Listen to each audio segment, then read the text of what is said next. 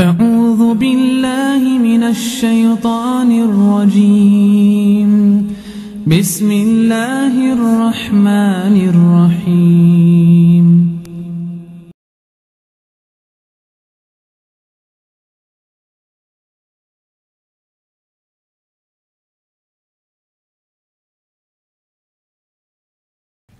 السلام علیکم ورحمۃ اللہ وبرکاتہ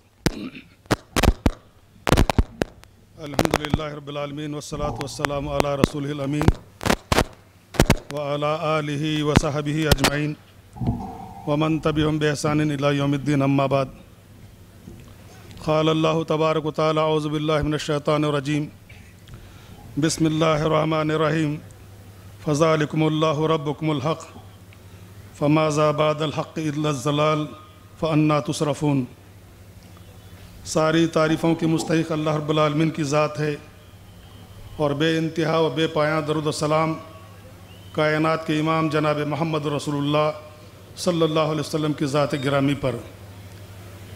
حاضرین کرام، مجھے بھی کسی موضوع پر خطاب کرنا ہے اور صدارتی خطاب بھی۔ وقت کی قلت کے باعث میں تمہیدن کچھ باتیں عرض کر دوں۔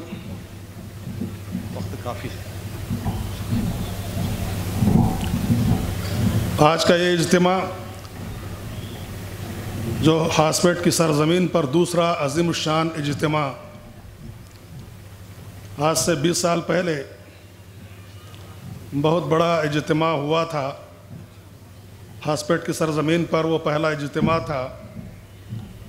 الحمدللہ، ثم الحمدللہ کے اس اجتماع کو بھی اللہ رب العالمین نے کامیاب فرمایا۔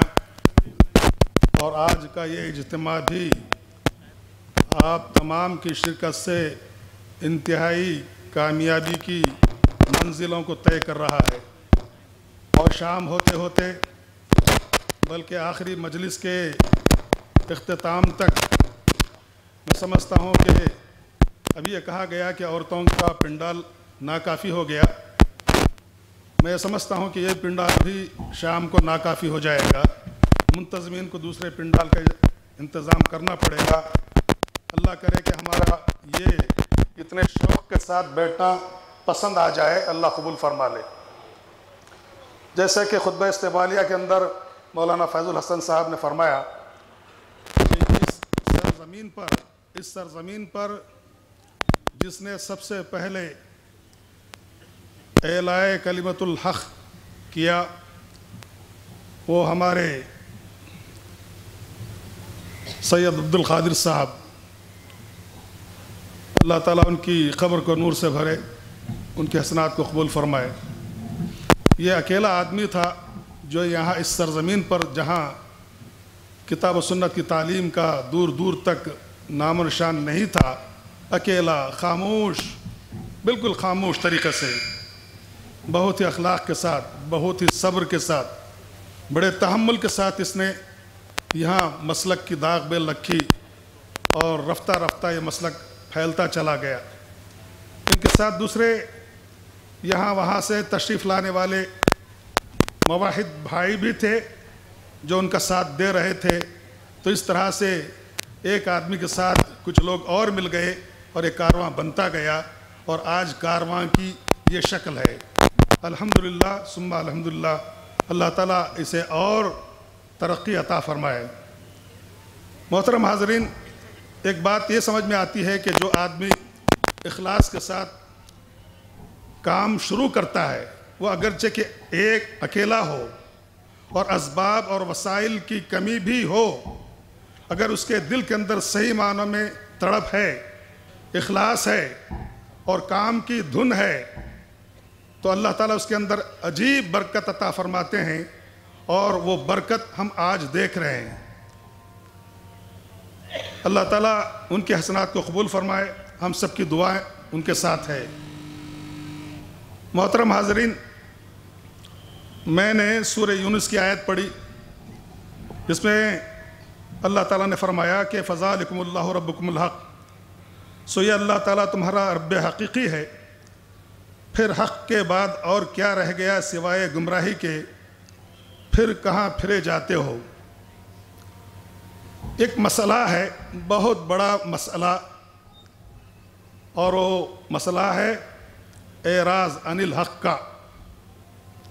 حق سے منہ پھیر لینا، حق سے روح گردانی کرنا۔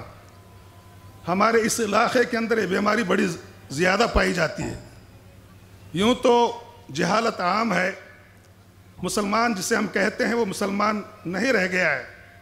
مسلمان ہم جسے کہتے ہیں، شریعت نے جسے مسلمان کہا ہے، وہ وہ ہے جو اپنے آپ کو سرنڈر کر دیتا ہے، حوالے کر دیتا ہے۔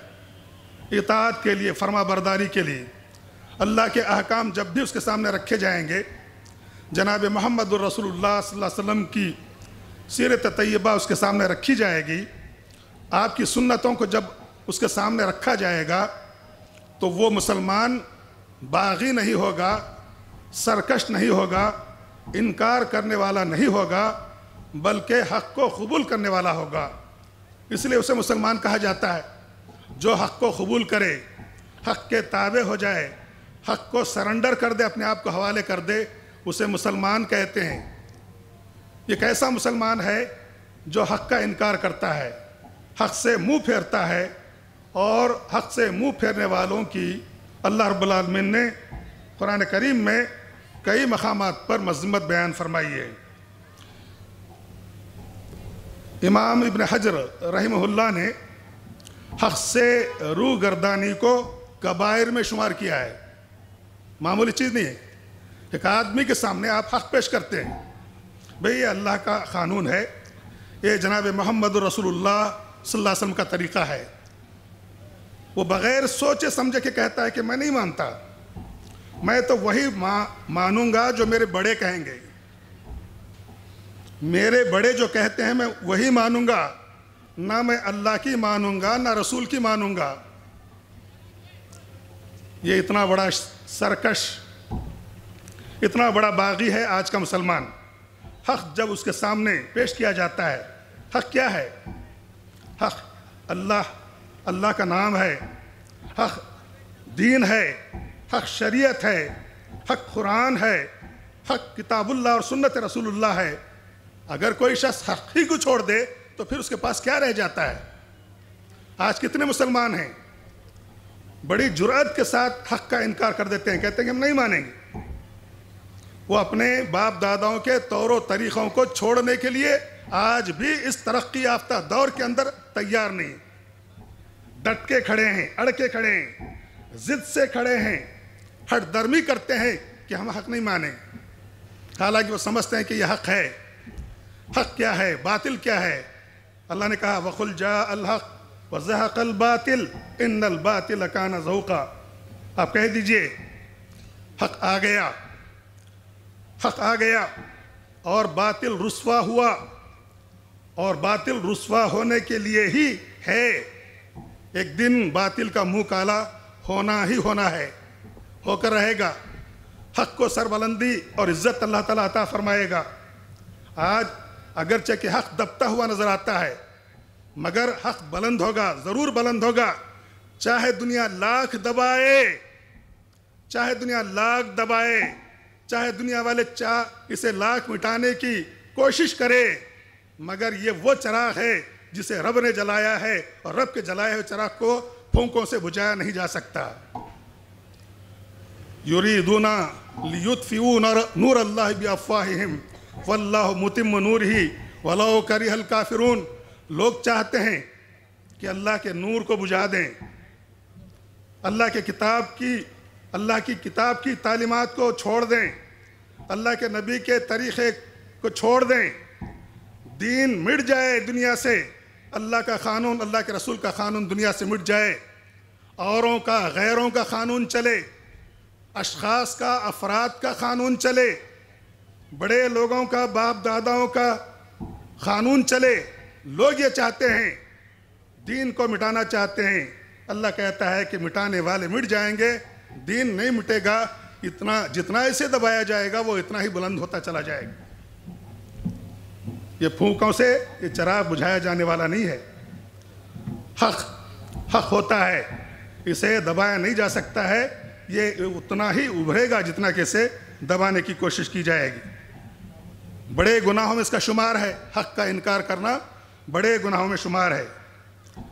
امام ابن قیم رحمہ اللہ نے فرمایا جو شخص حق کی تابع داری سے منہ موڑتا ہے، جو شخص حق کی تابع داری سے منہ موڑتا ہے یعنی تکبر کرتا ہے، بغض کرتا ہے، دشمنی کرتا ہے، عداوت کرتا ہے، وہ گویا کہ دین پر نہیں، اللہ پر تکبر کرتا ہے۔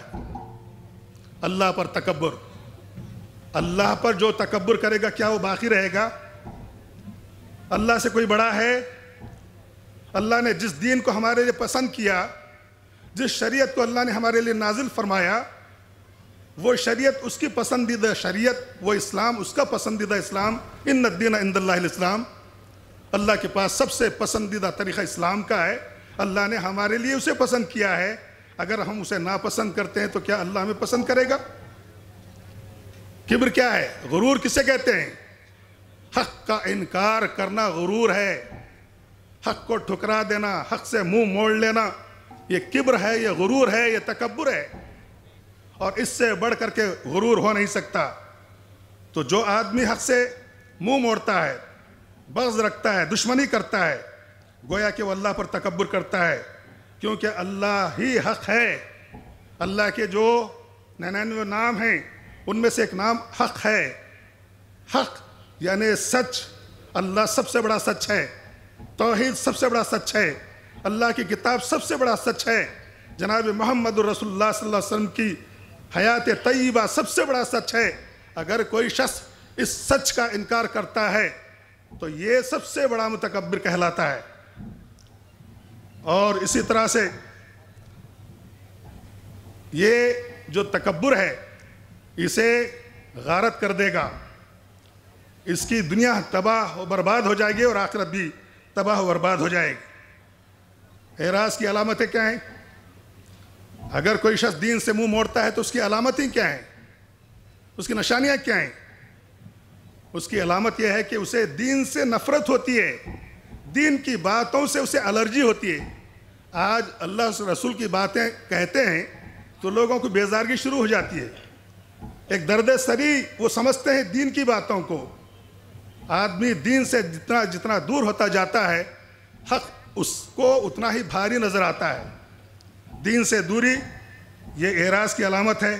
نماز کا چھوڑ دینا، ایک مسلمان نماز چھوڑ دے، پھر بھی وہ مسلمان رہے، یہ ناممکن ہے۔ ایک مسلمان پانچ وقت کی نماز کا پابند ہوتا ہے، فرض ہے اس پر نماز، مگر یہ کیسا مسلمان ہے کہ نماز پڑھتا نہیں۔ دل میں جب آتا ہے، وہ پڑھتا ہے۔ اور چھوڑ دیتا ہے۔ نماز سے دوری، فسق و فجور میں مبتلا ہونا، قرآن کو نہیں پڑھنا، نفسانی خواہشات کی پیروی میں لگ جانا، گناہ پر گناہ کرتے چلے جانا اور گناہ کو گناہ نہیں سمجھنا۔ آج کتنے نوجوان ہیں؟ گناہ پہ گناہ کرتے ہیں، گناہ پہ گناہ کرتے ہیں اور گناہ کو گناہ نہیں سمجھتے۔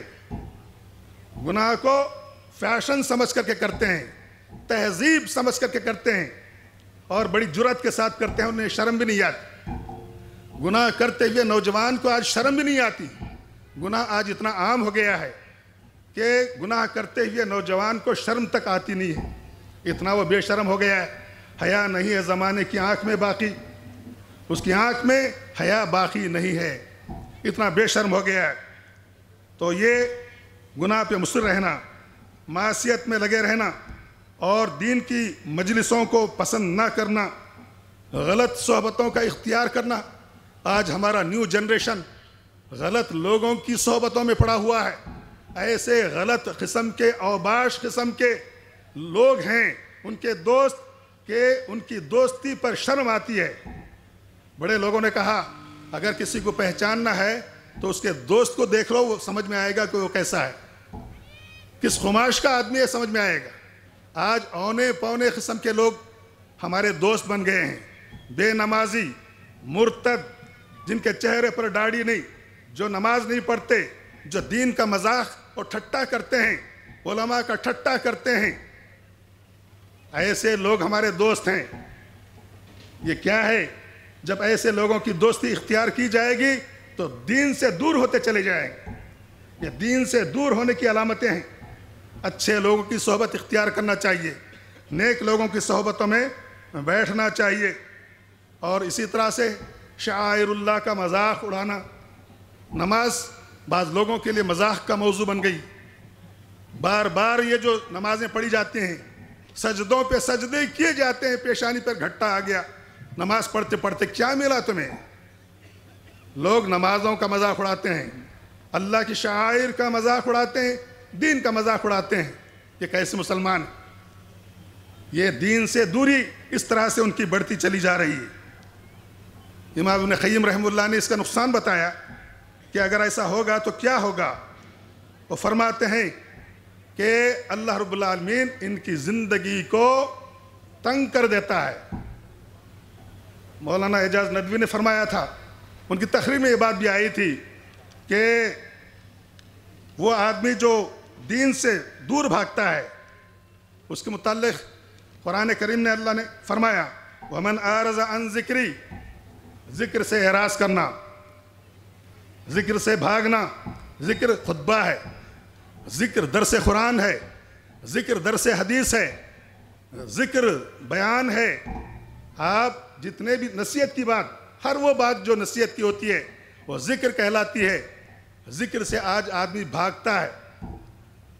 اس کے تعلق سے اللہ نے کیا فرمایا؟ ومن آرزا ان ذکری جو شخص میرے ذکر سے اعراض کرتا ہے، منہ موڑ لیتا ہے فعن لہو معیشت زن کا ہم اس کی زندگی کے خافیہ کو تنگ کر دیتے ہیں، اس کی زندگی کو نچوڑ لیتے ہیں، اس کی زندگی کو تنگ بنا دیتے ہیں۔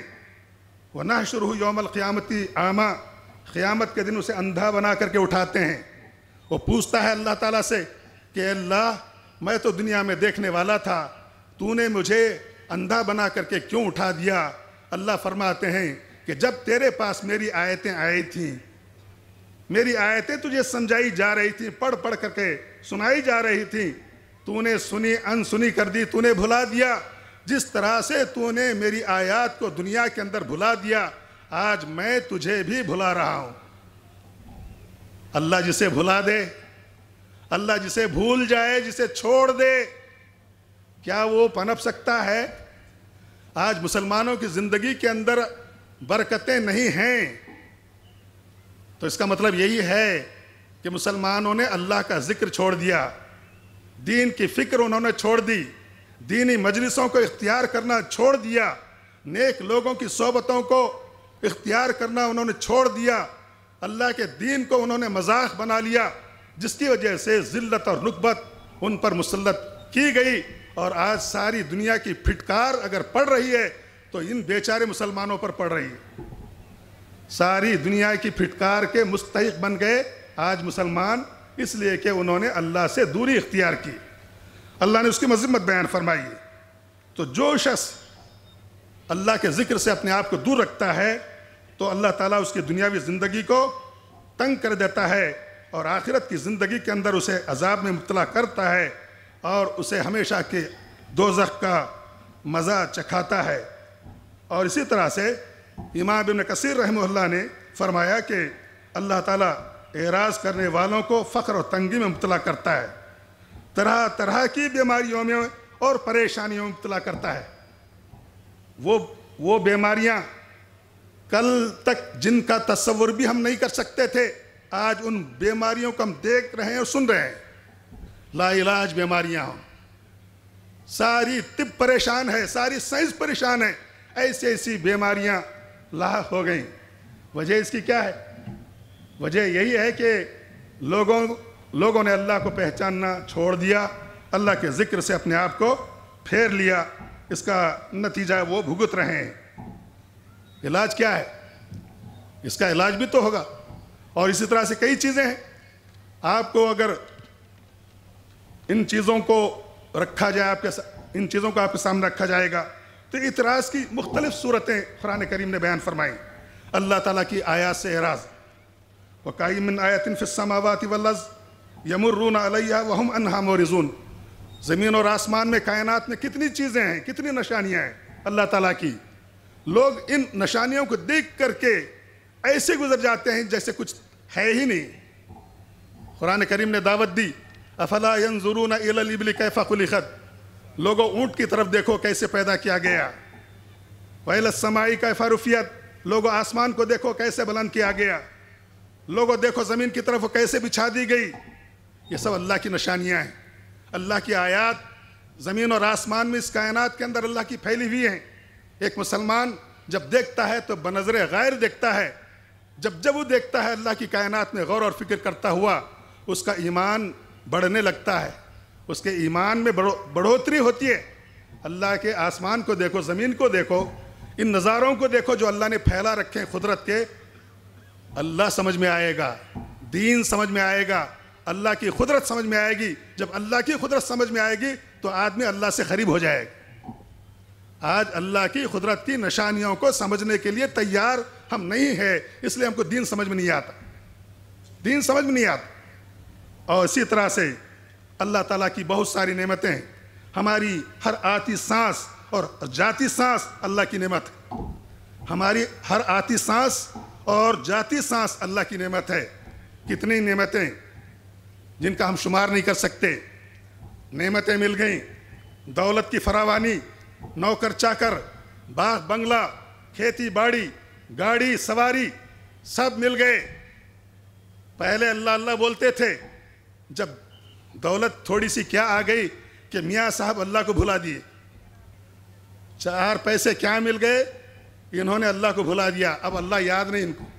اتنے بزی ہو گئے، اتنے مشغول ہو گئے کہ ان کو نماز پڑھنے کی توفیق نہیں، ان کو ذکر کرنے کی توفیق نہیں۔ ان کو دعا مانگنے کی توفیق نہیں، ان کو استغفار کرنے کی توفیق نہیں ہے، ان کو دینی مجلس میں بیٹھنے کی، سننے کی توفیق نہیں ہے، یہ دین سے دور ہوتے چلے جا رہے ہیں۔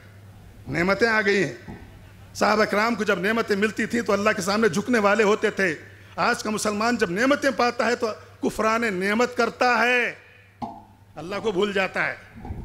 اللہ کب یاد آتا ہے؟ جب جھٹکا لگتا ہے موت کا، بیماری کا، حادثے کا اور ریڈ کا ریڈ ہو جاتی ہے، پوری پراپرٹی ریڈ ہو جاتی ہے۔ ابھی نوٹ بندی چلی، کتنی لوگوں کی نیندیں حرام ہو گئیں۔ نوٹ بندی کا جب چکر چلا تو ہزاروں لوگوں کی نیندیں حرام ہو گئیں۔ بعض نے خودکشی کر لی، زہر کھا لیا۔ اس لیے کہ پوری معیشت کا ڈھانچہ ٹھپ ہو رہا تھا۔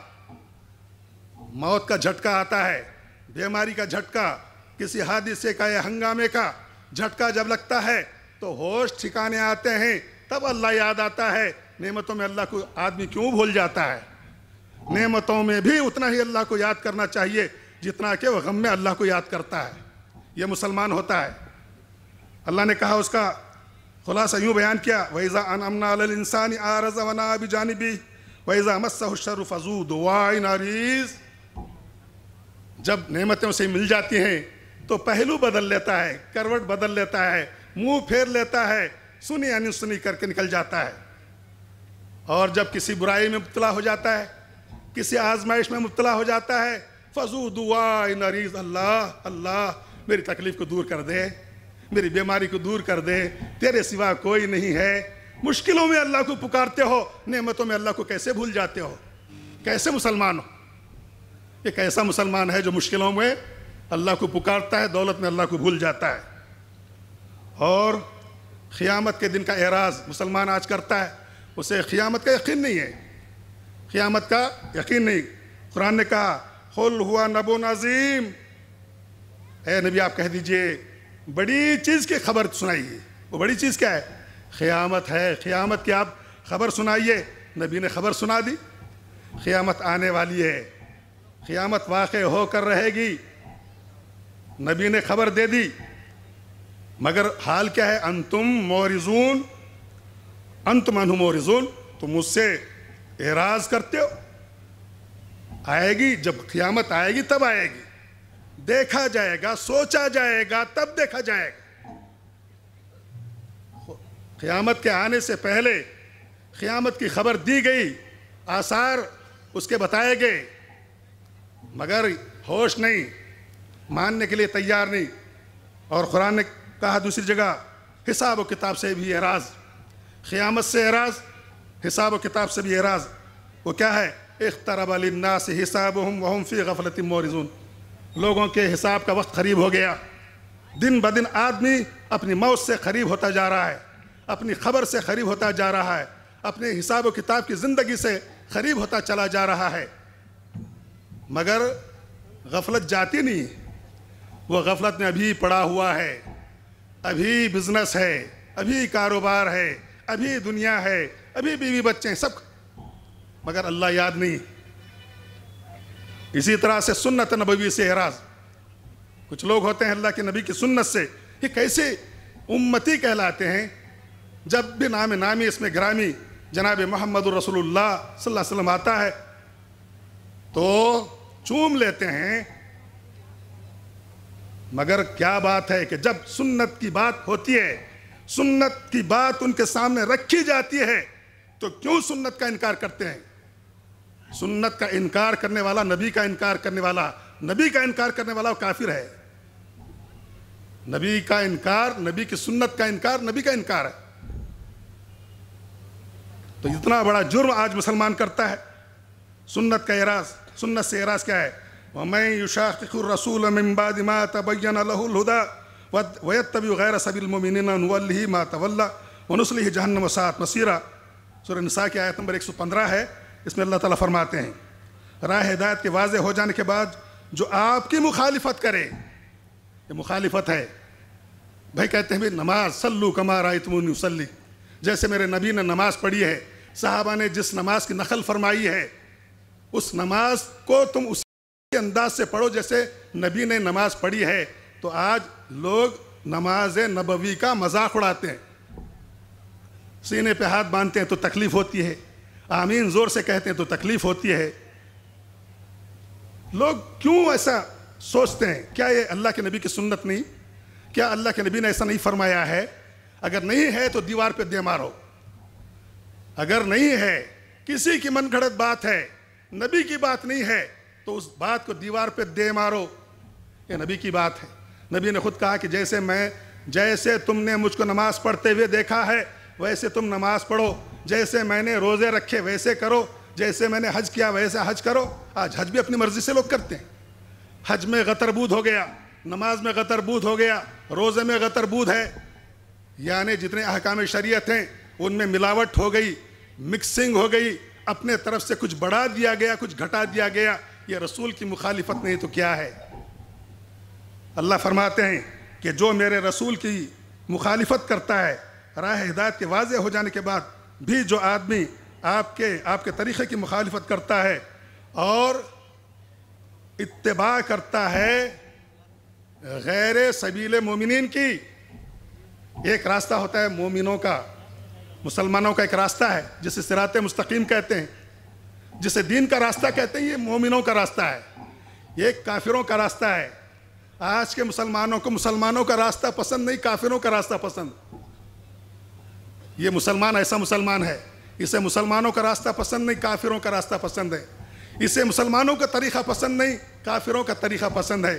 اسے مسلمانوں کی تہذیب پسند نہیں، یہودیوں کی تہذیب پسند ہے۔ اسے مسلمانوں کا تمدن پسند نہیں، اسے نصارہ کا تمدن پسند ہے۔ آج بڑے فخر سے وہ کیک کاٹتا ہے، برتھ ڈے کرتا ہے۔ اور تو اور شرم کی بات ہے، شرم کی بات ہے۔ یوم عاشقان مناتا ہے۔ یوم عاشقان یہ بھی منا لیتا ہے۔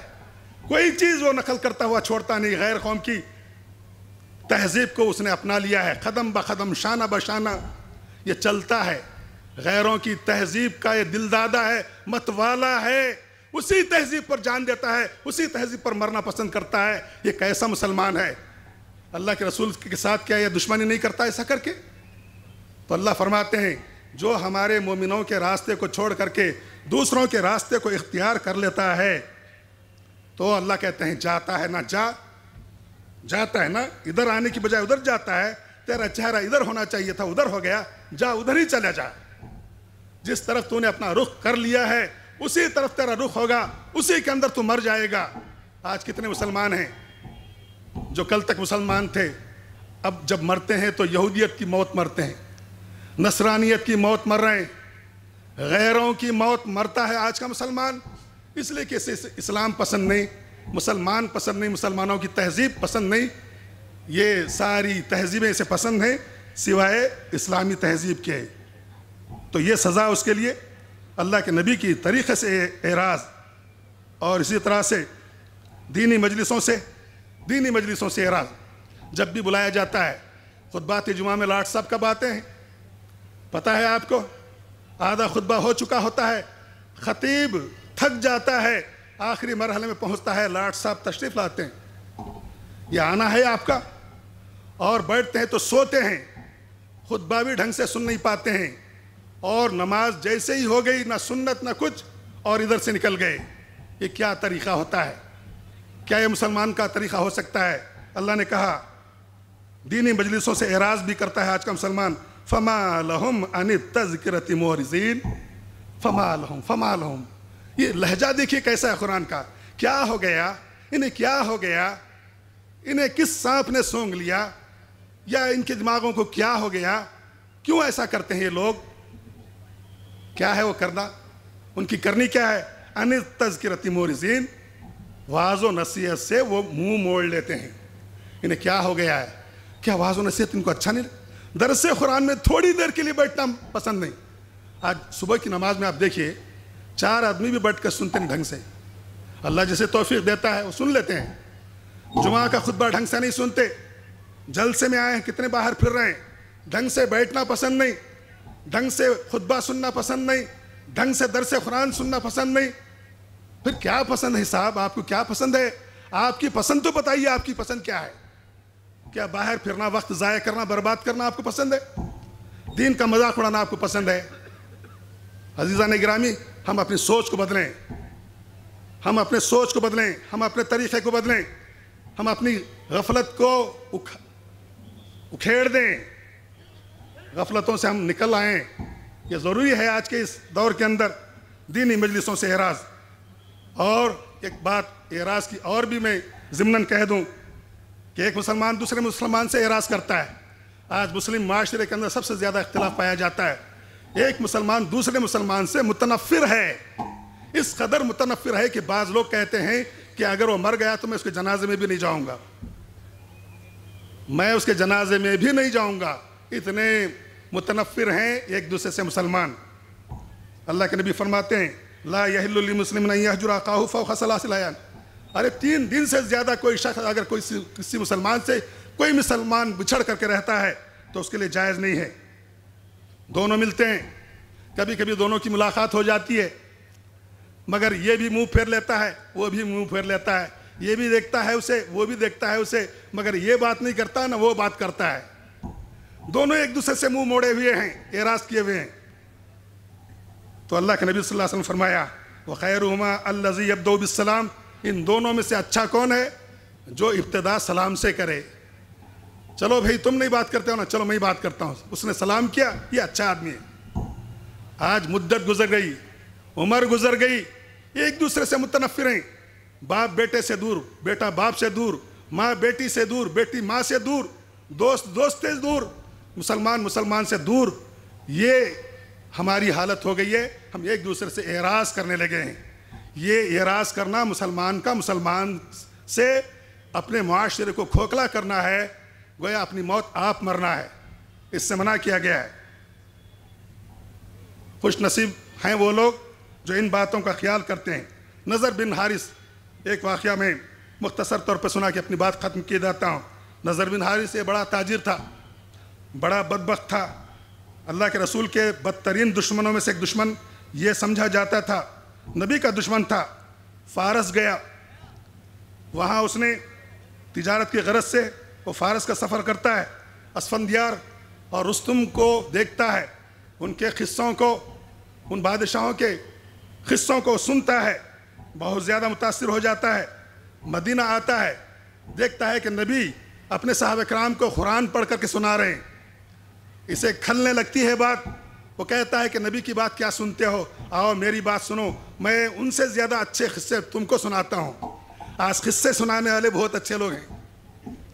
قرآن پڑھ کر بتانے والے لوگ اچھے نہیں ہیں۔ حدیث رسول پڑھ کر سنانے والے لوگ اچھے نہیں ہیں۔ قصے سنانے والے اچھے۔ نظر بن حارث بھی قصے سناتا تھا اسفندیار کے اور رستم کے۔ وہ کہتا تھا کہ نبی کے قصے کیا سنتے ہو؟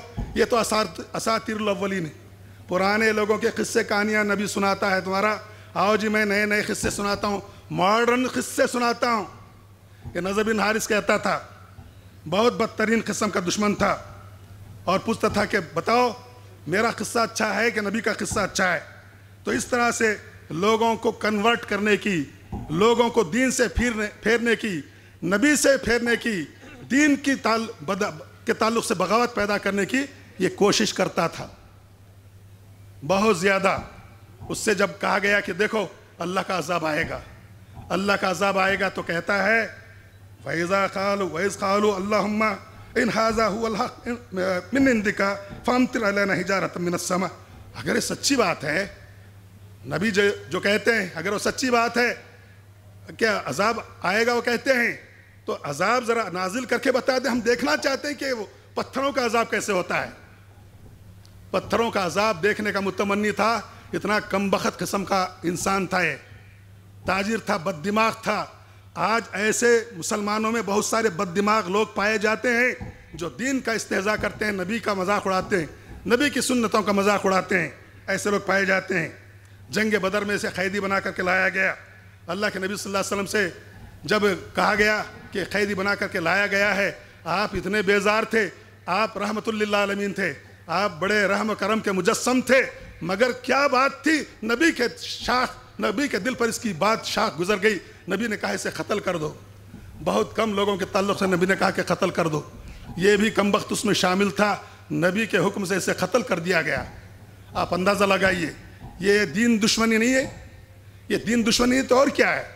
عزیزہ گرامی، بہت سارے لوگ ہمارے معاشرے کے اندر ایسے پائے جاتے ہیں جو دین کی دشمنی میں لگے ہوئے ہیں اور دین سے وہ روز بروز دور ہوتے چلے جا رہے ہیں۔ علاج کیا ہے بھائی؟ یہ جب بیماری ہے، اتنا افیکٹ جب ہے تو علاج کیا ہے؟ علاج بھی میں دو باتوں میں بتایا دیتا ہوں۔ حضرت لقمان نے اپنے بیٹے سے کہا، اے بیٹے، ذکر والی اور اہل علم کی مجلسوں میں بیٹھا کرو۔ جو لوگ اللہ والے ہیں، ان کی مجلسوں میں بیٹھو۔ نیک لوگوں کی، علماء کی صحبتوں میں بیٹھو۔ آج علماء سے ان کو الرجی ہے یہ لیپ ٹاپ کے اور انٹرنیٹ کے عالم بن گئے، جب سے بن گئے ہیں، سیل کے عالم بن گئے ہیں۔ واٹس ایپ پر جو میسیجز آتے ہیں، وہ چار چھ میسیجز انہوں نے کیا دیکھ لیے، اب اللہ وہاں پر آنکھیں نکال رہے ہیں۔ وقت کے عالم کو آنکھیں دکھاتے ہیں، کمزور بتاتے ہیں، فتوے جڑتے ہیں، فتوے جڑتے ہیں۔ آج کے نوجوان فتوے دینے لگے ہیں، جبکہ بڑے بڑے علماء فتوہ دینے پہ کاپتے تھے ہزار بار۔ سوچتے تھے وہ کہتے تھے کہ ہم کو معلوم نہیں۔ آج کے نوجوانوں کے اندر جرت کیسے آ گئی؟ علماء کی محبت دلوں سے ان کا احترام نکل گیا۔ ان کی مجلسوں میں بیٹھنے سے وہ کترانے لگے، جس کے نتیجے میں باغی ہو گئے۔ دین کی مجلسوں میں بیٹھنا چاہیے، اہل علم کی مجلسوں میں بیٹھنا چاہیے۔ حضرت لقمان نے کہا، اگر عالم ہو گئے، اگر تم عالم ہوں گے تو فائدہ پہنچائے گا۔ تو عالم ہونے کے بعد فائدہ پہنچا سکتا ہے۔ اور اگر تو جاہل ہے تو علم سیکھے گا، اس لیے دینی مجالس کا اہتمام کرنا چاہیے۔ میں آج کہتا ہوں، اس مجمع سے کہتا ہوں اور اتنے بڑے مجمع سے کہتا ہوں کہ آپ جب اپنی مسجدوں کو جائیں گے، اپنے مقامات کو جائیں گے، علماء کے بیانات کا اہتمام، احترام کیجیے، ان کی تعظیم اور توخیر کیجیے، ان کے خطبوں میں بیٹھنا سیکھیے ان کے دروس کو سننا سیکھیے اور ان سے مسئلے مسائل کے سلسلے میں کسب فیض کرنا سیکھیے تب جا کر کے آپ اپنے آپ کو سنبھال سکتے ہیں، سدھار سکتے ہیں۔ بغاوت کا ذہن چھوڑ دیجیے۔ اعراض کا ذہن چھوڑ دیجیے۔ آئیے، نزدیک آئیے اور دین کو سیکھنے کی کوشش کیجیے۔ تو انشاءاللہ یہ مسائل ہمارے حل ہو سکتے ہیں۔ اور آخری بات میں بتا کے اپنی بات ختم کیا دیتا ہوں، یہ کہ اعراض یہ تو یہ رازات اعراضہ اعراض ہیں، بہت سارے اعراض ہیں۔ روح گردانی کے نمونے میں نے پیش کیے۔ ایک اعراض ہے۔ اعراض عن الجماعہ و اعراض عن الجمعیہ جمعیت سے اعراض یہ بھی جرم ہے۔ جماعت سے اعراض یہ بھی جرم ہے۔ بہت سارے لوگوں نے ڈیڑھ اینٹ کی مسجد بنا لی ہے اور خود کو الگ کر لیا ہے۔ غلط بات ہے۔ آپ جماعت سے جڑے رہیے۔ اتحاد کا اتفاق کا ثبوت دیجیے۔ اسی میں میری اور آپ کی کامیابی ہے۔ ہم جتنا جتنا پتہ شجر سے ٹوٹ کے بے وزن ہو گیا، اڑتا رہا، ادھر کو جدھر لے چلی ہوا۔ آج ہماری حالت ایسی ہے۔ پتا جب تک اپنی ڈالی سے لگا رہتا ہے باہر دیکھتا ہے باہر دیکھتا ہے اور ہرا بھرا پن دیکھتا ہے۔ جیسے ہی پتا ٹوٹ کے نیچے گرتا ہے، ہوا اسے اڑا کر کے کہیں دور پھینک دیتی ہے۔ ایسے ہی جب تک آپ جمعیت سے، جماعت سے وابستہ رہیں گے، آپ ہرے بھرے رہیں گے۔ جب آپ جمعیت اور جماعت کو چھوڑ دیں گے آپ اس پتے کی طرح ہو جائیں گے جو ہواؤں کی دوشت پر کہیں اڑ کر کے چلا جائے گا اور ایک دن وہ خاک میں مل کر کے ختم ہو جائے گا۔ اس کی کوئی حیثیت باقی نہیں رہے گی۔ میں یہی پیغام دینا چاہتا ہوں کہ ہم حق کا اعتراف کرنے والے بنیں، حق پر عمل کرنے والے بنے حق سے جڑے رہنے والے بنے حق کو سننے والے اور سمجھنے والے اور پھیلانے والے بنے حق سے روح گردانی کرنے والے نہ بنے اللہ مجھے اور آپ کو سب کو اس کی عمل کی توفیق عطا فرمائے۔ وآخر دعوانا الحمد للہ رب العالمین والصلاة والسلام علیہ رسول السلام علیکم۔